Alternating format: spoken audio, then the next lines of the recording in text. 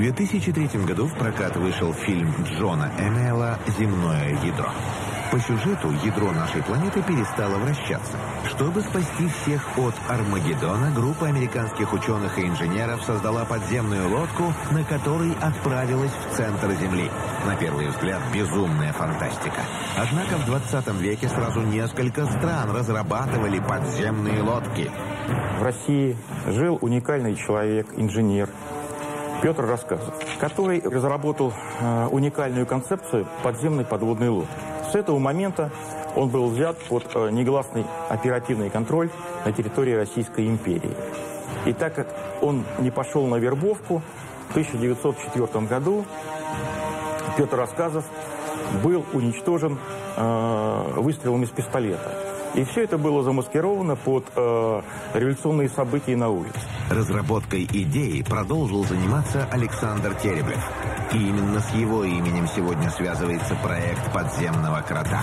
Еще до начала Второй мировой войны ученый не раз ездил в Германию, чтобы поделиться опытом с немецкими коллегами. Немцы очень активно заинтересовались э, этой работой. В 1934 году э, был создан экспериментальный аппарат, который э, сделал э, фон Ритер. Проект Ридера получил название «Змей Мидгард» по имени персонажа из скандинавских легенд. Тогда, в разгар войны, практически удалось собрать первый образец подземной лодки. Однако работу прервало наступление Красной Армии.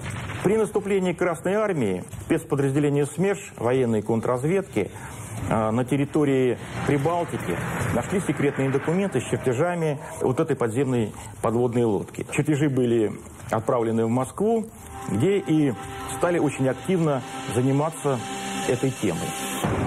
Советские ученые увидели, что немцам удалось исправить ошибки и модернизировать проект.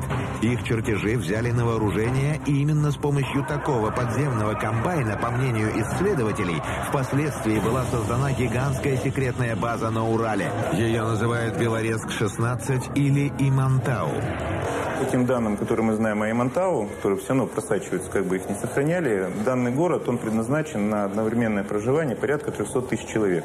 Это система тоннелей диаметром порядка 10 метров э, с ответвлениями, в которых уже сделаны и гостиницы, и какие-то там технологические помещения, лаборатории. Между тем, кое-кто из нацистских ученых оказался во Франции. Оттуда тоже приходили тревожные известия. Специалисты, которые должны были обеспечить республику собственными космическими и баллистическими ракетами, вели себя точно так же, как и в США. Пугающе независимо. В какой-то момент стало заметно, что э, между действиями этих ученых в разных странах наблюдается какая-то координация.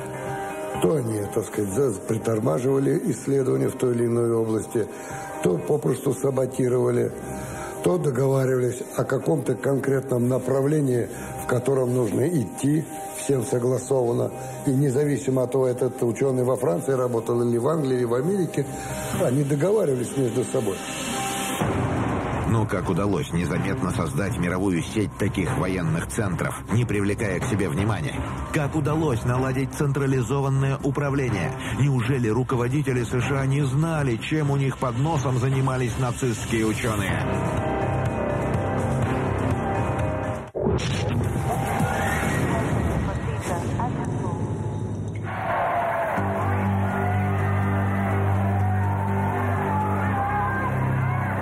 34-й президент США Эйзенхауэр отважился предупредить об этом нацию только в своей прощальной речи. Его последователь Джон Кеннеди, который хотел реформировать военно-промышленный комплекс и секретные службы, был убит.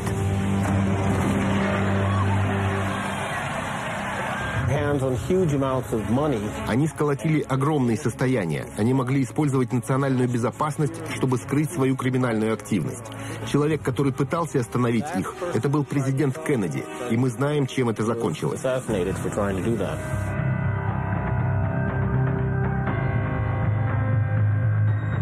Он был убит, вероятнее всего, людьми Буша-старшего и могущественной группировкой американских нацистов, которая захватила США.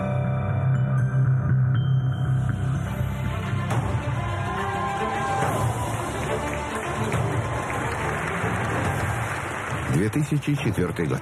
Очередная президентская гонка в США. За место в Белом доме борются непримиримые вроде бы кандидаты. Однако республиканец Джордж Уокер Буш и сенатор-демократ Джон Керри имели между собой нечто общее. Оба были членами тайного общества «Череп и кости».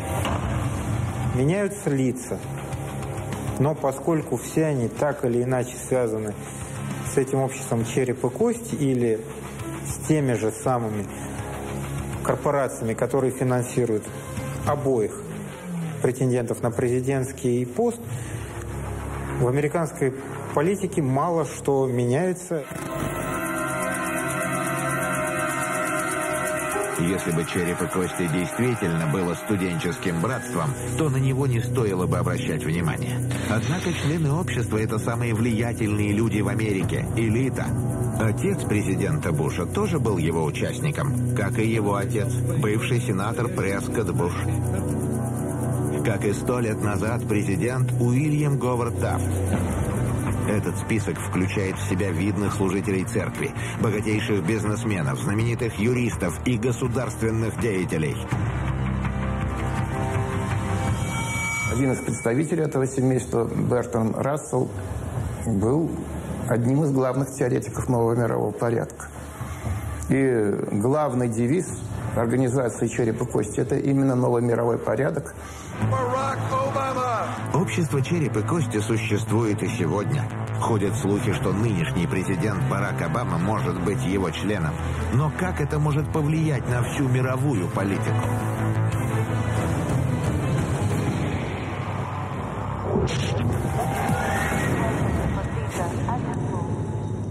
В 1921 году в Германии во время одного из заседаний баварского парламента депутат Гаррис сделал странное заявление. Он тряс кипой документов, в которой, по его словам, были доказательства существования заговора. Он говорил, что в скором времени его раскроет, однако спустя несколько дней Гаррис был убит. Преступника не нашли, и инцидент со временем забылся. А доказательств, о которых говорил депутат, так никто и не увидел. Тогда Германия только отходила от поражения в Первой мировой войне. Казалось, что амбиции страны похоронены навсегда. Однако пройдет два десятилетия, и она двинется на завоевание мира.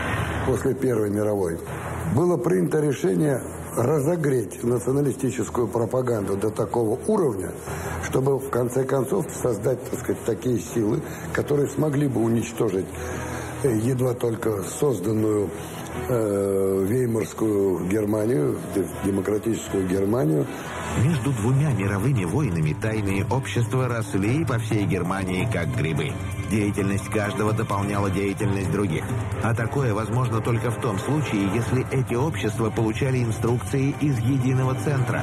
Членом одного из таких обществ был Мартин Борман, впоследствии личный секретарь фюрера. Эта тайная группа спаслась после Второй мировой и обосновалась в других странах.